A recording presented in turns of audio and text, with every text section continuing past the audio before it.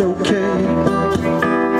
Take your time, find your way, be yourself.